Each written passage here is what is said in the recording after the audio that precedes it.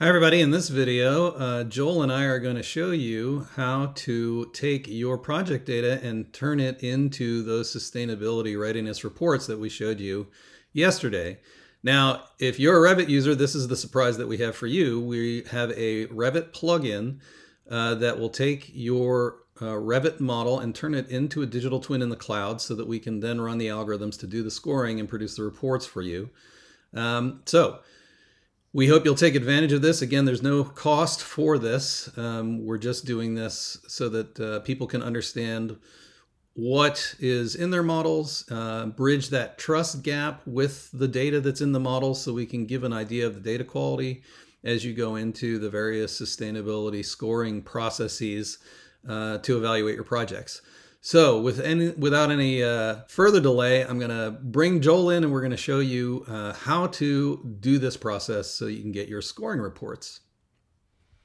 Hi, everyone. Well, we told you we were going to show you how you can upload your own projects and get some sustainability reports to see where you are uh, on the baseline for making some digital twins of your projects. And Joel's going to show us how to do that. So, Joel, uh, why don't you take it away and explain how everybody can can go through this process? Sure thing. Okay, so the first thing folks will want to do is visit cloud.vimaec.com. You can see it in the um, the note there in the top right of the screen.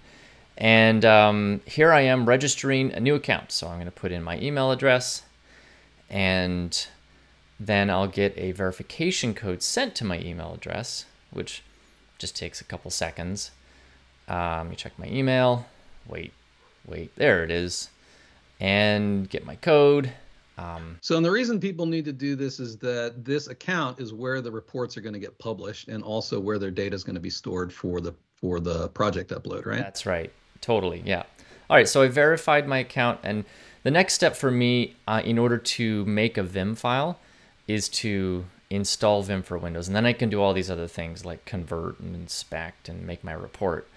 Um, I've just downloaded the Vim file installer. Um, Got to make sure I read through the EULA and accept it to continue. Very important. We all do that, right, Marty? All the time. Um, I'm going to elect not to launch Vim right away and just click finish and jump right into Revit. I just, I don't want to waste any time. So I'm going to hop right into Revit, open up uh, my favorite Revit project and choose to make a Vim. Now I notice that I have to sign in. So let me do that right away. It kicks me over to a browser and I just log myself in and that allows me to generate that Vim file directly from Revit. So Joel, uh, just a second. So when you said I'm going to make a Vim file, what did you have to do after installing the plugin? Just go to the Vim tab in Revit? Yeah, all I had to do was uh, go to the Vim tab in Revit and then pick the 3D view that I want to generate my Vim file from. And we normally pick a, um, a new 3D view that has whatever it is that we want to share. Whatever is going to be in the 3D view ends up yeah. in whatever you're uploading to, right. to do the scoring. Okay. Yep. Uh, so here I am. I'll just log in here, um, and that recognizes that I'm doing it from Revit. And I've got some options. So where I can save my file, what 3D view to pick, and, um, and the name of the file. So I'm just going to confirm that I'm going to save it here, I think to the desktop. Yeah, that's going to be the best place. So let me do that. Click Start. And depending on the project size, um, and thanks to Revit's um, architecture, the process could take a few seconds, it could take a few minutes. In this case, for us, it took 4 minutes and 13 seconds, but through the power of movie magic, we sped it up for everyone on screen. Um, I am going to take a quick little check on the file locally because we do have a desktop app, and I'm just making sure that all the bits and pieces are in there from my 3D view that I did indeed want to include, especially this equipment up on the roof of the building. And some BIM coordinators might recognize this model since it's the publicly available sample model for the BIM health check from Autodesk. So totally. we're just running that through here so you can see how yeah. that scores. Totally. And and I just clicked on the desktop app, the um, a little button that let me get right to the uh, Vim cloud. so that I could get my Vim file uploaded and generated into a report. And so it just got me back over there. But now um, my next step is to upload my Vim file. So I'm going to click an upload button. And I went over to my project, chose upload. I'm going to go to the desktop, pick that Vim file. The .vim. The .vim. Yep. And upload it. And uh, upload times vary depending on your internet speed. Um, my internet speed is pretty good, so it uploaded quite quickly. And now that I've got it uploaded, uh, if I actually choose to select that file, there's a generate report button that shows up in the top. And I, I click OK on that pop-up. And I'll get an email, and I just got it, um, saying that my report's ready. So now I can click on view my awesome. report or click on the BI reports tab and be able to see my report in all its glory. and here we go. So let's see what my score was. Hey, looks like I'm doing pretty good. Um, Marty, talk. So just to scores. be clear, these scores are for the readiness of the model for LEED energy modeling and carbon. And of course, if you're less than 100%, then one of the discipline categories is probably missing something. So we give you some information about that in the details. Yeah. And so, like, if I go to energy modeling, for example, uh, if I click on that, you can see, you know, mechanical, it actually doesn't have some equipment assigned to the mechanical systems that it should be. And so we lose a bit on that. Um, and we don't consider things like structure and FF&E in not for that case, yeah. So, yeah. Uh, so at the end of this video, we have a, a, short detail of the scoring methodology for those of you who are BIM coordinators and Revit experts and are curious about that. Just uh, it's optional for it's after the bumper. So yeah, um, and in case anyone's interested. So so this is really neat, and and we uh, encourage people to share the reports. So you can do that by clicking on a um, a share report button on the top right, and it gives you a URL that you could share with anybody. In fact, you could email it, you could post it on LinkedIn if you really wanted to, or social media, um, and let other people know what kind of score you're getting on your projects.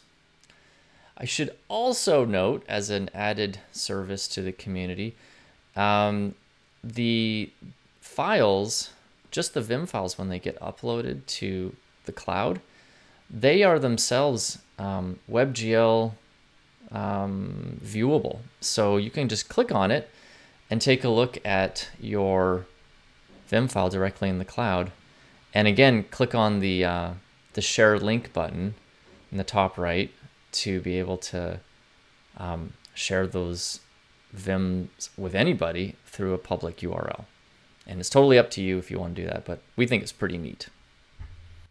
Yeah, and like we said before in yesterday's video, we're doing these reports as basically a public service to the industry uh, to make you aware of the data quality uh, and the process by which you can get into digital twins for these projects. So uh, hopefully you'll take advantage of this. You'll you'll take a look at one of your projects using this process, and we encourage you to share it with uh, anybody you think might be interested in it.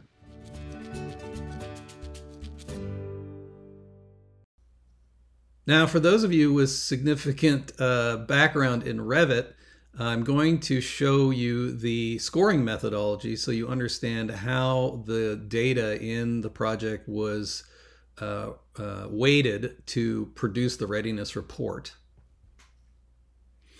This is completely optional and uh, it is just here for those of you who want to understand the methodology Okay, what you see in front of you is the methodology for how we are scoring the various uh, readiness use cases.